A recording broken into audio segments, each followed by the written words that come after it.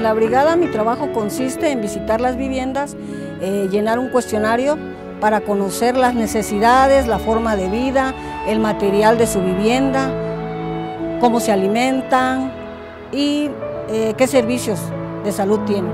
Invito a los jóvenes que se unan a la Cruzada Nacional contra el Hambre para poder ayudar a nuestro pueblo y salir adelante. Como parte del comité estoy dispuesta a trabajar, ayudar a todo, todo lo que es el poblado de la ferrería y trabajar para que lleguen todos los programas que, que nos ofrece esta cruzada. La participación comunitaria es vital para que una comunidad crezca. Siempre se necesita de un equipo para poder trabajar, para poder llevar a cabo la planeación y aterrizar esos objetivos. Vamos a hacer realidad este proyecto.